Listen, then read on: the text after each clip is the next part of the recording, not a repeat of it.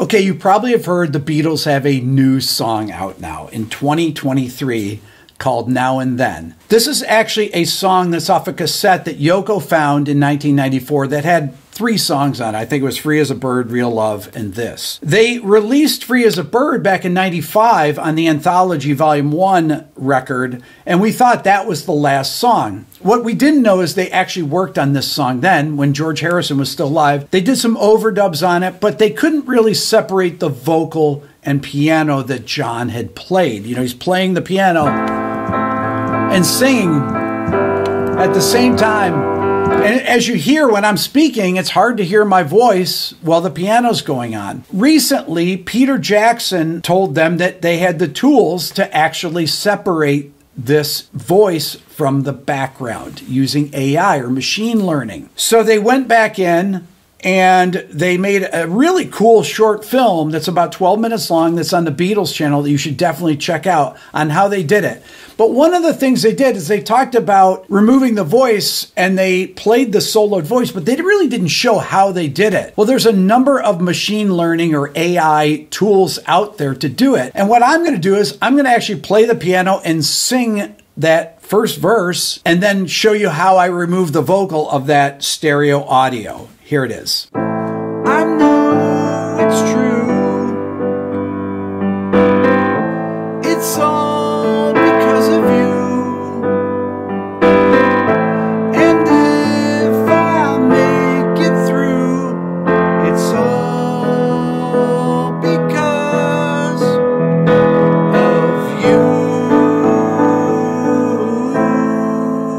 Okay, I'm going to take that performance, I'm going to put it into this AI program called lalal.ai and separate that piano and vocal part into two tracks. Here it is. Okay, so I'm dragging the vocal and piano together in it.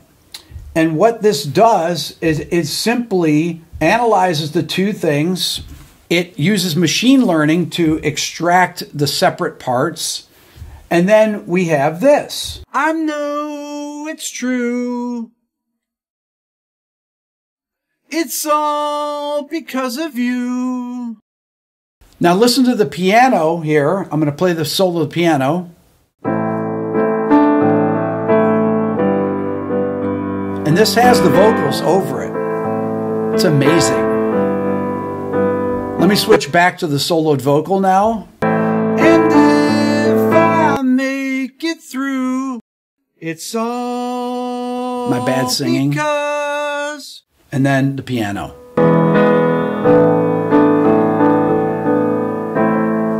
That's pretty amazing that it can actually separate these things, right? Separate my vocal and piano perfectly. So that's what they did with John Lennon's voice and piano. They actually took out the piano. Paul replayed the piano, he says in the documentary, and then they used George's existing parts from 1995. Paul played a slide part reminiscent of something that George would have done, and Ringo played the drums to it. Let me talk about the melody first before I actually talk about what I think about the production. Okay, so the melody is classic John Lennon. Incredible melody writer, right? So you got A minor, unusual note to go to. He's got E minor over G, back to A minor.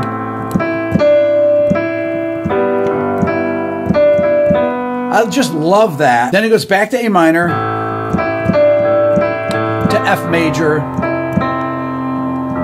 then on E major.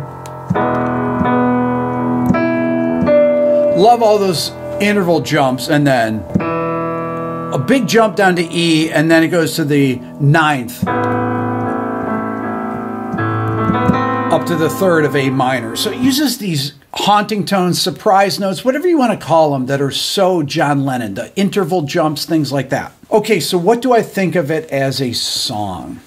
Giles Martin wrote a string arrangement reminiscent of his dad, George Martin, who produced pretty much all the Beatles records and did all those wonderful orchestral arrangements. I Am the Walrus, Day in the Life, all these these things. He was a genius at this. Eleanor Rigby of writing string parts, writing orchestral arrangements, and he put this orchestral part to this. One of my favorite parts of the song is this bridge section here. I'm going to play it. Hopefully, it won't actually block the video, but.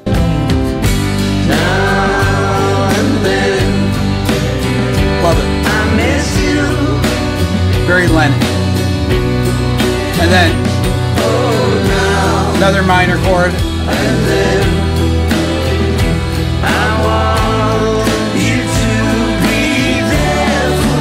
Beautiful.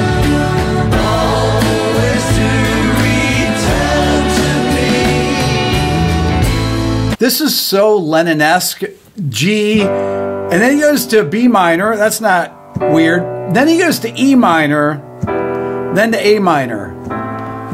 Lennon is one of the only people that will use three minor chords in a row like that. Now, this is all in the same key, but it's just a beautiful move. Then it's A minor to D. It's a 2 5, A minor, D.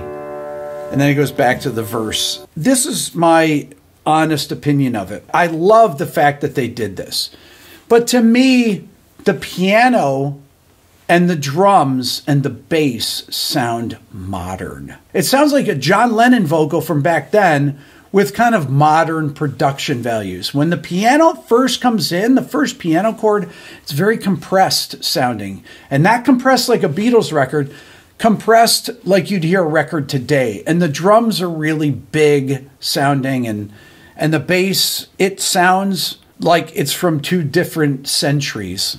Maybe because it is, and there's just no way around it. And would John Lennon like this? Well, in the little documentary, Sean Lennon says that he thinks his dad would have embraced this because it uses new technology. And I agree with that. Beatles were all about inventing new technology, automatic double tune flangers, all these things. This all happened. The first feedback note before I Feel Fine Beatles, they were unbelievable at using new technology. Do I wish it didn't come out and that I'd never heard it? No. I'm glad that it's out there and I really enjoyed it. But maybe sometimes things are better left undone. The Beatles were one of the few groups that stopped playing at the right time and never did a reunion. This obviously is not a Beatles reunion. There's only two Beatles that are living still. This is like time travel, right? You have a vocal from the 70s, from 74 or whatever. You have George Harrison's guitar parts from 1994. And then you have Paul and Ringo from 2023. So this entire track is time travel. I really love to know your thoughts. I tell people to subscribe. The more people that subscribe to my channel, the better interviews I can get. I'd love to interview the two remaining Beatles and get their opinion on it. Hit the subscribe button, leave a comment. Thanks so much for watching.